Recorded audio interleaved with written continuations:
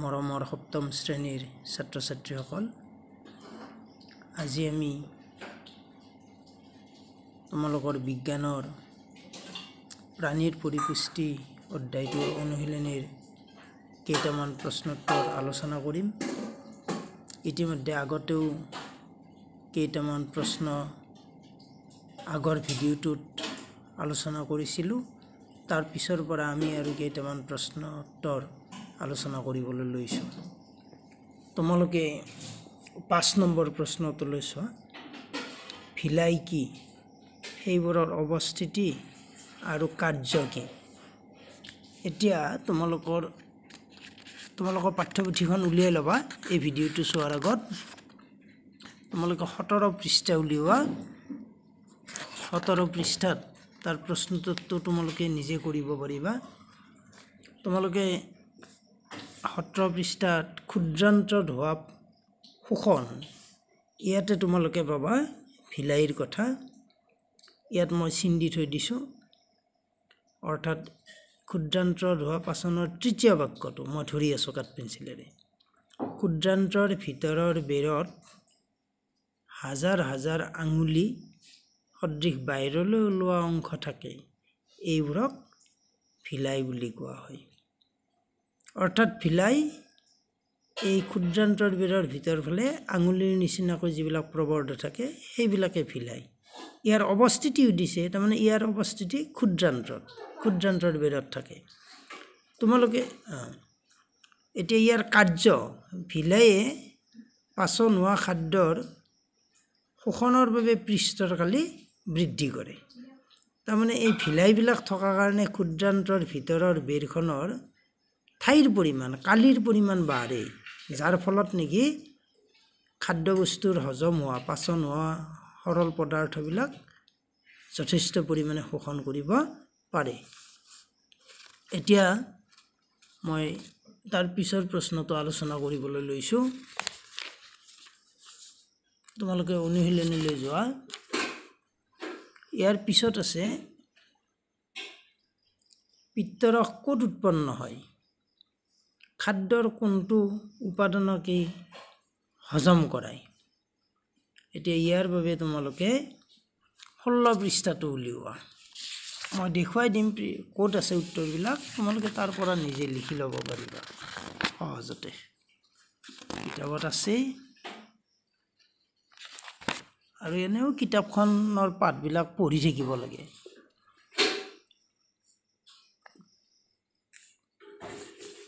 আমাৰ প্ৰশ্নটো আছিলে পিত্তৰস ক'ত উৎপন্ন যকৃতত উৎপন্ন ইয়াত তোমালোকে পাবা।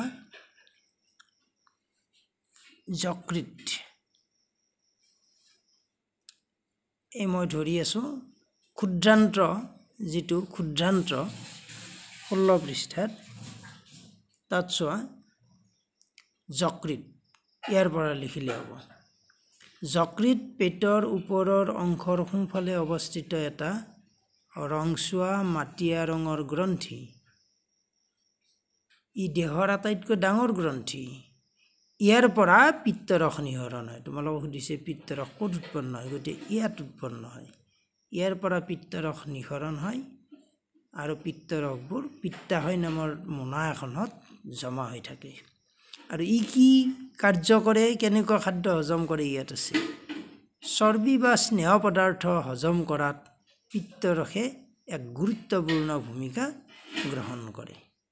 তোমালোকে যদি নিজৰ পা পাঠ্যপুথিখন উলিয়াই লোৱা এনেদৰে যদি মই কোৱা মতে চোৱা তেনেহ'লে ইয়াত উত্তৰটো আছে ধুনীয়াকৈ লিখিব পাৰিবা। তাৰপিছত আকৌ অনুশীলনীলৈ আহা। ৰোমন্থক প্ৰাণীয়ে হজম কৰিব পৰা কিন্তু মানুহে হজম কৰিব নোৱাৰা কাৰ্বহাইড্ৰেটটোৰ নাম লিখা। এইটো চেলুলোজ মই দেখুৱাই দিম কিতাপত। ইয়াৰ কাৰণ কি লিখা? ইয়াৰ কাৰণটো আছে মই দেখুৱাই দিম। ৰোমন্থক প্ৰাণী উলিওৱা। এই ওঠৰ পৃষ্ঠা। ওঠৰ পৃষ্ঠাৰ এই যে গৰু এটাৰ চিত্ৰ এটা আছে তাৰ ওপৰতে আছে চেলুলোজ বুলি এই শব্দটো। ঠিক ওপৰতে থকা বাক্যটো এইটো। এইখিনি লিখিলে হ'ব ইয়াৰ এইটো পঢ়ি চাবা এইখিনি লিখিলে হ'ব। চেলুলোজ তাৰমানে ইয়াৰ পৰা লিখিব পাৰে তাৰমানে ঘাঁহ যে খায় ৰোমন্থক প্ৰাণীয়ে যে ঘাঁহ বন খায় তাত যথেষ্ট পৰিমাণে চেলুলোজ থাকে। ঘাঁহত অধিক পৰিমাণে চেলুলোজ থাকে। চেলুলোজ হ'ল এক ধৰণৰ কাৰ্বহাইড্ৰেট মানুহকে ধৰি বহু প্ৰাণীয়ে চেলুলোজ হজম কৰিব নোৱাৰে। তাৰমানে চেলুলোজবোৰ ৰোমন্থক প্ৰাণীয়ে হজম কৰিব পাৰে কিন্তু মানুহকে ধৰি আন প্ৰাণীয়ে ইয়াক হজম কৰিব নোৱাৰে। আমাৰ প্ৰশ্নটো আছিল এইখিনিকে অকণমান লিখিলে হ'ল নোৱাৰিলে এনেকৈ লিখি থ'লেও হ'ব। এই বাক্যকেইটা লিখি থ'বা। সুধিছিল যিটো কাৰ্বহাইড্ৰেট মানুহে হজম কৰিব নোৱাৰে ৰোমন্থক প্ৰাণীয়ে পালে। সেইটোৱে হৈছে কি এই কাৰ্বহাইড্ৰেটটো হৈছে চেলুলোজ। আৰু কাৰণটো এতিয়া এইফালে চাওক এইফালৰ এইটো পৃষ্ঠাৰে সোঁফালৰ কলমটোত চোৱা। চেলুলোজবোৰ নিৰ্দিষ্ট বেক্টেৰিয়াৰ ক্ৰিয়াৰ দ্বাৰা হজম হয় যিবোৰ বেক্টেৰিয়া মানুহৰ দেহত নাথাকে। তাৰমানে কিছুমান বেক্টেৰিয়াৰ ক্ৰিয়াৰ দ্বাৰা চেলুলোজ হজম হয় কিন্তু সেই বেক্টেৰিয়াবিলাক মানুহৰ দেহত নাথাকে। সেয়েহে চেলুলোজ মানুহকে ধৰি আন প্ৰাণীয়ে হজম কৰিব নোৱাৰে।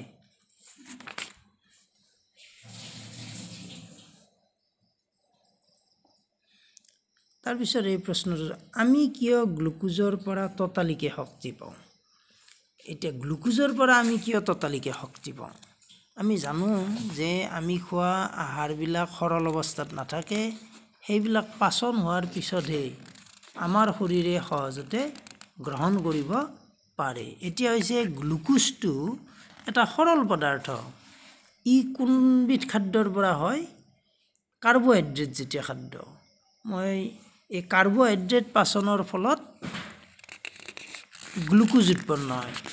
যিহেতু কাৰ্বহাইড্ৰেট শক্তিদায়ক খাদ্য আৰু তাৰ পাচনৰ ফলত গ্লুকোজ উৎপন্ন হয় গ্লুকোজটো অতি সৰল ইয়াক পোনে পোনে ক্ষুদ্ৰান্ত শোষণ কৰিব পাৰে।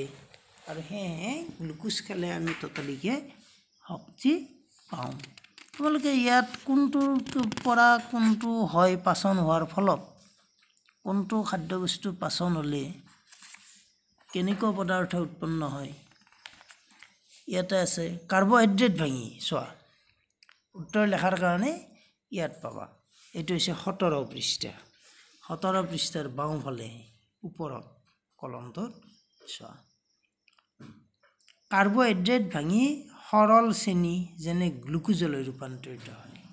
অৰ্থাৎ তোমালোকে লিখিবা গ্লু এই এইখিনি লিখিবা কাৰ্বহাইড্ৰেট ভাঙি সৰল চেনি গ্লুকোজলৈ পৰিণত হয়।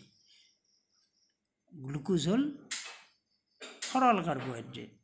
গতিকে গ্লুকোজৰ পৰা আমি কি পাব পাৰোঁ? পোনে পোনে শক্তি পাব পাৰোঁ। কাৰণ সৰল পদাৰ্থ পোনে পোনে শৰীৰে গ্ৰহণ কৰিব পাৰে।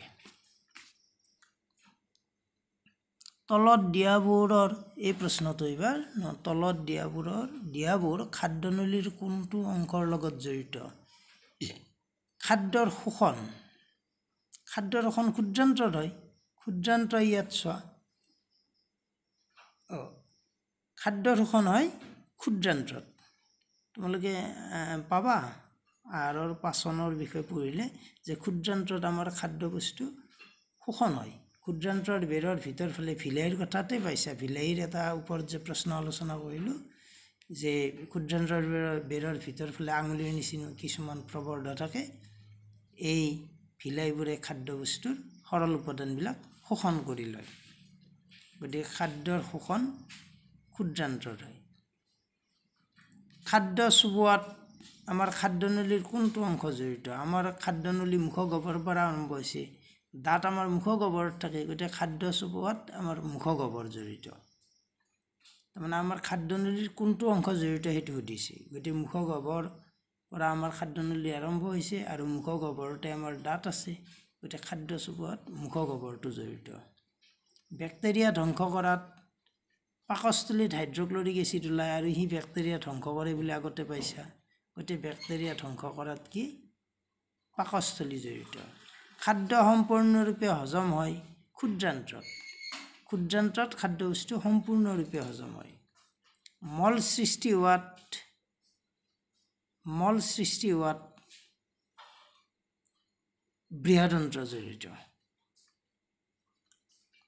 গতিকে ইয়াত উঙলৈকে আছে। এইকেইটাৰ উত্তৰ এই খালী ঠাই। এইখিনি তোমালোকে লিখি ল'বা বহীত। তাৰপিছত চোৱা স্তম্ভ মিলোৱাটো চোৱা। লালতী গ্ৰন্থি লালতী গ্ৰন্থি সি লালতী উৎপন্ন কৰে ইয়াত চোৱা। লালতী নিঃসৰণ কৰে গ নম্বৰ। লালতী গ্ৰন্থিয়ে কি কৰে? লালতী নিঃসৰণ কৰে। পাকস্থলী নহয়। পাকস্থলীয়ে কি কৰে? এচিড বাহিৰ কৰে। তোমালোকে আগতো পাইছা? যে পাকস্থলীত কি হয় হাইড্ৰক্লৰিক এচিড ওলায়। গতিকে এচিড বাহিৰ কৰে আছে পাকস্থলী তাৰ লগত হ'ব কি খ নম্বৰ এচিড বাহিৰ কৰে। তো যকৃত যকৃতে কি কৰে পিত্তৰস নিঃসৰণ কৰে। পিত্তৰসটো যকৃতত উৎপন্ন হয় যকৃতে পিত্তৰস নিঃসৰণ কৰে। আমি আগৰ এটা প্ৰশ্নটো পাইছোঁ মলা হয় মলা হয়ে কি কৰে মল জমা কৰি ৰাখে ইয়াত চোৱা মলা হয়। এইটো। পাচন নোহোৱা খাদ্যৰ সঞ্চয় কৰে। মলা হয়ে কি কৰে? পাচন নোহোৱা যিখিনি খাদ্য আছে সেইখিনি সঞ্চয় কৰি ৰাখে। অৰ্থাৎ যিখিনি আমাৰ মল মল মলা হয় বা মলবাণ্ডত আমাৰ জমা হৈ থাকে গতিকে এই মল জম পাচন নোহোৱা সেইখিনি খাদ্য সেইখিনি হৈছে পাচন নোহোৱা খাদ্য সেই পাচন নোহোৱা খাদ্যখিনি কি কৰে? সঞ্চয় কৰি ৰাখে আৰু সময়ে সময়ে তাৰ পৰা পৰিত্যাগ কৰে। ক্ষুদ্ৰান্ত পাচন সম্পূৰ্ণ হয়। ক্ষুদ্ৰান্তই কি কৰে? খাদ্যবস্তুৰ পাচন সম্পূৰ্ণ হয়। ক্ষুদ্ৰান্ততে সম্পূৰ্ণ পাচন হয়। বৃহদন্ত্ৰ। পানী শোষণ কৰে। তাৰমানে আমাৰ ক্ষুদ্ৰান্তৰ পৰা যোৱা খাদ্যবস্তুখিনি যথেষ্ট পনীয়া হয়। পানী যথেষ্ট থাকে। আৰু সেই পানীভাগ কি হয়? বৃহদন্ত্ৰত শোষণ কৰি লয়। কাৰণ আমাৰ দেহটো পানীৰ দৰকাৰ গতিকে পুনৰাই দেহে সেই পানীখিনি আহৰণ কৰে আৰু তেতিয়া কি হয় মলখিনি কিছু গোটা অৱস্থালৈ ৰূপান্তৰ হয় আৰু তাৰ পৰা গৈ মলাশয়ত জমা হৈ থাকে।